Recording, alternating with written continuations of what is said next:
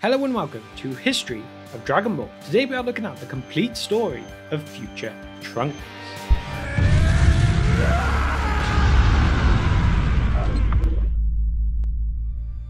Future Trunks was born in the age 766 and is from the alternate timeline to the main one that we follow in Dragon Ball. In this alternate one, things have gone a little bit different during the events of the Android saga. This time the Earth has been taken over by the evil androids 17 and 18. They managed to wipe out over three quarters of the world's population, including nearly all of our heroes. All that are left are Gohan and Trunks, but they are both weaker versions of themselves in this timeline. Goku had even died of a heart virus before the androids had arrived, showing how much less training the others were likely to have undertaken. And what about Trunks' father, Vegeta? Well, the androids easily outclassed not just him, but all the remaining Z fighters as well, including the likes of Piccolo. Therefore, they are now unable to wish anyone back with the Dragon Balls as well. Over the course of the next 13 years, Gohan becomes future Trunks' mentor and trains him in everything that he knows. Gohan tries his best to teach Trunks how to become a Super Saiyan as well. However, with everyone already dead and having not yet felt a certain level of sadness and anger, Trunks simply cannot tap into the motivation needed to transform. This will all change though when Trunks, now age 14, becomes responsible for a serious injury to Gohan. In his inexperience, he is cornered by Android 18, and so Gohan is forced to sacrifice himself to save Trunks, losing his arm in the process. But they still manage to escape. Trunks continues to try to transform into a Super Saiyan, but still to no avail. Later that year, the pair are once more forced into a battle against the androids, so Gohan knocks Trunks unconscious, knowing that if he faces them again, he will be killed. Although initially Gohan can stand toe to toe with the androids, he becomes unable to cope with them both and their infinite energy reserves. Gohan is defeated and killed, leaving Trunks to find his body lying in the rain. Overcome with anger and grief, Trunks finally manages to tap into that pain and transforms into a Super Saiyan. He spends the next few years training to avenge his fallen mentor, although he is still unable to defeat the androids. Three years later, future Bulma reveals that she's been working on a time machine and reveals it to Trunks. She hopes he will use it to return to the past, save Goku, and hopefully alter the future. Trunks travels back in time 20 years to warn Goku about the android threat in the near future, giving him the cure for the heart virus that he suffered from as well. However, upon arrival he is greeted by Frieza and his father King Cold. He easily kills all the soldiers that Frieza and his father brought with them, but despite this Frieza is not initially worried by Trunks, giving him three opportunities to kill him. But the young Super Saiyan is able to block and dodge all of these attacks with ease. Frustrated by this, Frieza fires a supernova at Trunks, where he simply catches it and tells Frieza that he must have dropped it. After which, Frieza detonates the blast with an energy wave, but Future Trunks remains unscathed and performs what he calls the burning attack to have Frieza dodge the blast, which is then followed up by his shining sword attack, cutting Frieza clean in two, and not stopping there, he continues to hack his body to pieces and then follow it up with a good old energy blast. He also then follows this up too by killing King Cold. Trunks then guides the onlooking dragon team to the place where Goku is going to land on his return, and when Goku arrives, Trunks finds out that Goku was prepared to step in using his newly learned instant transmission technique. So, Trunks realizes he has already altered the timeline from his own. Trunks then informs Goku of the future, which Piccolo overhears, and while Piccolo doesn't reveal any information about Trunks, he tells the Z Fighters of the future, inspiring the heroes to train their hardest for the next three years. So, however inadvertently, Trunks' revelation of the future has altered it already. Trunks does not return until the date that the androids were supposed to have arrived, but when the time does come, they are revealed to be different androids to the one in his own timeline. Goku begins to fight this new android 19 anyway, but here the heart virus strikes him much later than Trunks had warned. As the heart virus had not struck when he said Goku had not taken the antidote. But before Goku could be killed, Vegeta comes in and saves him, destroying the android. So when Trunks does return, he finds Android 19's head and Android 20 as well, so realizes that this timeline is now branching off even further from his own. When Android 20, who is actually Dr. Gero, releases the real androids of his future, Android 17 and 18, they rebel and kill their creator before releasing the previously unknown Android 16. The androids of this timeline prove to be considerably stronger than the ones from Trunks' own, to the point where Android 18 is able to even easily take down a Super Saiyan Vegeta and Super Saiyan Trunks together. They are all defeated but not killed here. Afterwards, Trunks and Krillin realize they need to move Goku from his house, so they take him to Master Roshi's. Trunks also comes to realize that only the timeline he travels to is affected by his actions. So actually, each trip he makes just creates even more futures. The team then come to learn of a vehicle that has been found that is supposed to be property of Capsule Corp, but this actually turns out to be future Trunks' time machine, only wrecked. Trunks is stunned, saying that he has his time machine with him in capsule form. So Trunks and Gohan fly to the time machine, meeting Bulma there. He then uncovers a message saying hope on the second time machine. It is definitely his, but from when?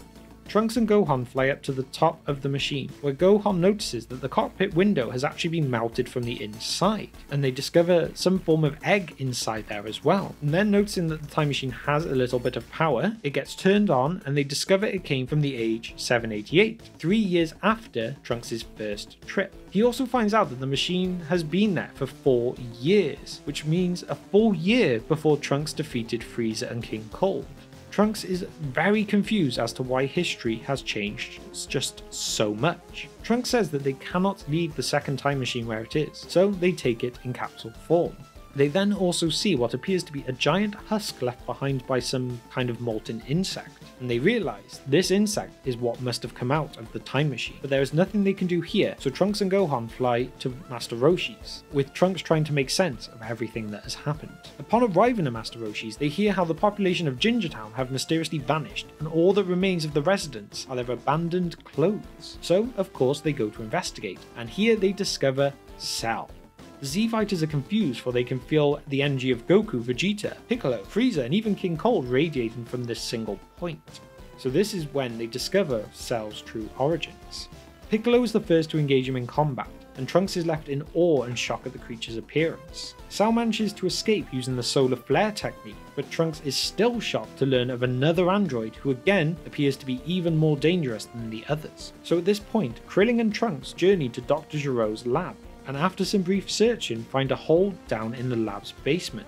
Here they discover a supercomputer along with the present day Cell in his larval form. They manage to find blueprints to Android 17 before destroying the basement. Trunks thinks the best idea is to give these plans to his mother so that she can hopefully find a weakness of the androids. Trunks leaves this for Krillin to do as he goes and trains with Vegeta. When Goku and Gohan visit Vegeta and Trunks, Goku reveals to them about the hyperbolic time chamber, so they all decide to spend some time inside it with Vegeta and Trunks going first.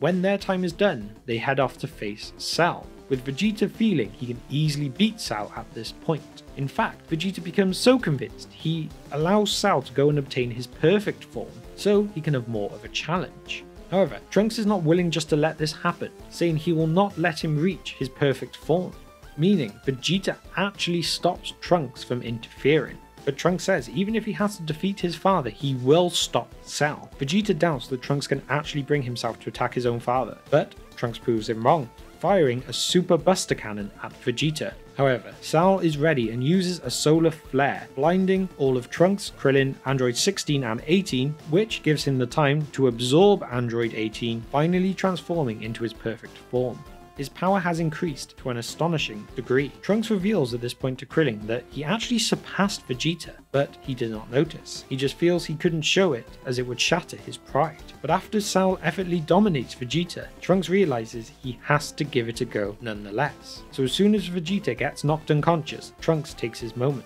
He powers up into Super Saiyan 3rd grade form even Cell is impressed with how powerful Trunks has become. Cell then attacks Trunks, and Krillin takes advantage of this opportunity to grab Vegeta and fly him to safety. With them out of harm's way, Trunks now knows he can fight freely. Cell definitely has that part of a Saiyan in him, in wanting to truly test himself with the greatest challenge. Trunks powers up again, ready to fight Cell seriously now. But Cell assures him he cannot win this battle. Although Trunks' power is enough to deal significant damage, he has made himself too bulky and so too slow. Trunks then actually realizes that this is why Vegeta never took on this form, and that Cell was right. This truly demoralizes Trunks, so he reverts back to his base form and tells Cell to kill him, since he now has no chance and has lost the will to fight. However, Cell being impressed by how much Vegeta and Trunks had improved in such a short amount of time, he instead gives them 10 more days to train before holding a martial arts tournament. So he tells Trunks to gather all his allies, get the strongest of them together so that they can compete against him in one on one fights in the Cell Games tournament. So, after training for those 10 days, the day of the Cell Games finally arrives. Of all the people to go first, is actually Mr. Satan, which unsurprisingly lasts mere seconds. So, with Mr. Satan being quickly knocked out, Goku volunteers to go first. Cell had hoped to save the best for last, but there's nothing he can do, so the two assume their fight poses. Trunks is very keen at this point to see why Goku has been just so calm in the days leading up to the tournament. Goku and Cell partake in an intense fight, but it reaches the point where Goku admits that he cannot defeat Cell, so he gives up, leaving everyone in complete shock. Goku then calls for someone to take over him who can defeat him, Gohan. In Cell's attempt to bring out Gohan's true power, Trunks is forced to contend with the Cell Jr. along with the other heroes, and slowly and gradually he begins to lose this fight. Finally though, Gohan manages to transform into a Super Saiyan 2, shocking everyone, and when he does, Gohan effortlessly defeats all of the Cell Juniors and then Cell as well. However, weakened and desperate, Cell pumps himself up like a balloon to self-destruct, threatening to take the Earth along with him. But Goku sacrifices himself by teleporting both he and Cell to King Kai's planet, where he promptly explodes. However, Cell actually manages to survive this, and upon his reappearance, impales future Trunks through the chest with a full power death mortally wounding him. As Yamcha and Tien rush over to him, they realize he had died that moment. This act causes Vegeta to become enraged, but this does not really affect Cell. In the end, Gohan is also still able to defeat the monster. So after all this, Future Trunks is revived by Shenron, along with everyone else killed by Cell. The next day, Trunks returns to his own time, and even gets acknowledgement from Vegeta as he says his goodbyes. Trunks returns to his own time to exact revenge on the androids for murdering the Z-Fighters.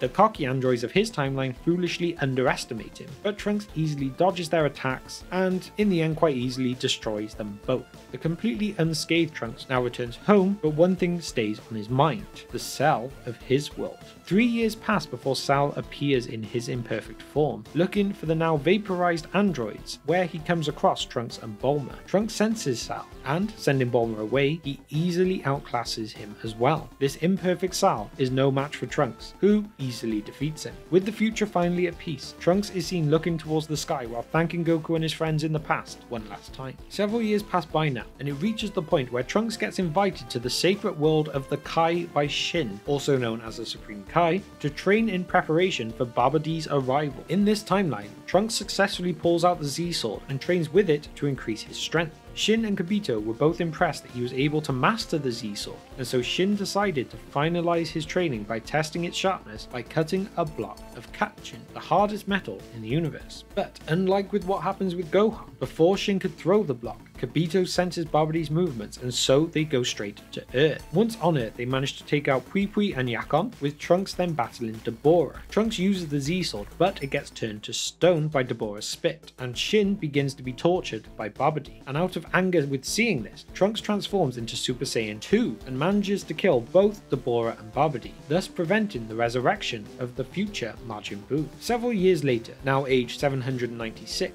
a mysterious man named Black goes berserk and causes humanity to be on the brink of extinction. Trunks attempts to stop Black but fails. Bulma suggests that they should try and receive help from Goku and Vegeta in the past again. Six months later, Bulma has finally gathered enough fuel for a one-way trip to the past for the time machine, when all of a sudden, Black gets in their way. He destroys the lab and future Bulma. Trunks now knows getting to the past is their highest priority. As Trunks and Mai try to return to the Capsule Corp building, Black suddenly descends above them. Trunks gets outmatched, and Mai winds up critically injured. Trunks knows all he can do is distract Black to give him time to flee to his time machine and get back to the past. Future Trunks manages to escape to the past and, now unconscious, is found and seen by Bulma, Vegeta, Goku, and his timeline's Trunks. Upon waking and seeing Goku, Future Trunks begins suffering with PTSD and mistakes Goku for Black. He attempts to attack Goku in anger, much to Goku's confusion. However, Goku manages to subdue him before snapping Future Trunks out of his trance. Here they all learn about his new future. revealing everything about the being known as Goku Black. In the anime only, a sudden thunderstorm comes down and Black appears through a portal. Future Trunks becomes enraged by Black's appearance, but is stopped by Vegeta. He then watches the fight between the Super Saiyan 2 Goku and Black, and he wonders why Goku does not go all out. And here Vegeta explains that Goku has a very bad habit of not fighting seriously in the beginning. This fight ends with Black being sucked back into the future, but not before Black destroys the time machine. So now Trunks is stranded in the past. So future Trunks now spends some time visiting the likes of Gohan, who he is slightly disappointed with his current power, and also spending some time training with Vegeta as well. Once they've managed to fix what was the time machine used by Cell, Trunks, Vegeta, and Goku head to the future. Upon returning, he learns that future Mai has actually survived and they meet many of the other resistance, which even includes future Yajirobe, but they then go and find Black once more. Future Trunks watches Vegeta fights with Goku Black as a Super Saiyan Blue, but is shocked to see Goku Black Super Saiyan Rose transformation, with him easily defeating Vegeta. Future Trunks is also shocked to see future Zamasu and wonders who Goku Black is if the two are not the same person after all. As the two fight with Super Saiyan Blue Goku, Future Trunks joins in the fight, but the two are eventually defeated, and it is revealed future Zamasu is actually immortal. The three Saiyans are saved by Future Mai and Earth's resistance, and despite Future Trunks' protests, Future Mai sends the three back into the past in the time machine, which by the time they arrive, they have all fallen unconscious. Back in the present, Future Trunks and the others lament on Zamasu's immortality as well as Black's Super Saiyan Rose form, and this is where Whis comes in with his own theory on the matter. Goku, Beerus and Whis go off somewhere and then return to inform everyone that the Zamasu in their timeline has been destroyed, with Beerus and Whis believing that this will solve the problem in future Trunks' timeline too. But future Trunks is not so sure. So, Future Trunks, Vegeta, Goku, and Bulma return to the future, and here Trunks learns that Future Mai got injured trying to hold back Black. And so, in his anger, he leaves Goku and Vegeta to confront Black and future Zamasu. They become shocked to discover that Black was not created using the Super Dragon Balls, but was another Zamasu who had stolen Goku's body. Future Trunks and Vegeta enter the fight with Future Trunks wanting to take on Black. Black and Future Zamasu tell Future Trunks that he is one of the reasons they want to eradicate all mortals due to his use of the time machine, and without him, Black openly admits he would never have even sort out Goku's body, calling Future Trunks a sinner. Enraged at the statements, Trunks charges at Black, but is quickly knocked out of his Super Saiyan 2 form and falls to the ground. Consumed by anger, future Trunks stands back up and takes on a completely new form never seen before, shocking everyone. As he slowly walks towards Black with an enraged expression, Trunks loudly exclaims that he will kill Black. Future Trunks proceeds to battle Black and Future Zamasu, fueled by a blind rage, but they use their teamwork to overwhelm him. However, his rage eventually subsides, and in his new state, Future Trunks is able to combat both Black and Future Zamasu at the same time. Eventually, Trunks lands on the ground and asks Vegeta and the others to escape using the time machine so that they can find a way to defeat Black and Zamasu while he provides cover for their escape. Vegeta carries Goku and gives Mai the Senzu Bean, while Bulma starts up the time machine. Trunks manages to prevent Black from destroying the time machine as it disappears, then proceeds to continue his fight against them. But despite his best efforts, he is eventually knocked out, once again being saved by Mai. Trunks quickly devises a plan to separate the immortal Future Zamasu from Black and succeeds, leaving Black to fight Future Trunks in a sword duel. Black mocks Trunks' sword as a pathetic tool as he seemingly overwhelms him, but Future Trunks distracts him by throwing his sword before delivering three powerful gut punches followed by a full power Galick gun. The beam sends Black flying through the forest, through his own hideout, and straight into a mountain, where he appears to have been knocked unconscious. Realizing he only has one last attack in him, Trunks pretends to lower his guard before catching Future Zamasu in a lock. He decides that there must be a limit to Future Zamasu's regeneration and attempts to blow him up in what appears to be a self destruct attack. However, he is stabbed through the back by Black, who had recovered from their last encounter. Before a killing blow can be dealt, Goku and Vegeta return from the past and draw Black and Future Zamasu's attention, allowing Mai to save Trunks yet again. After recovering, Trunks takes Mai to Bulma, who orders Trunks to fix the evil containment wave jar with super glue, reminding Trunks that he is good at puzzles. Trunks fixes the jar and proceeds to learn the sealing technique, while Bulma leaves to distract Zamasu in order to buy him some time. Trunks uses it on him, which seemed successful. That is, until they realize that Goku somehow forgot the amulet seal. Typical Goku. Zamasu breaks free, and Black and Future Zamasu fuse using the Potara earrings.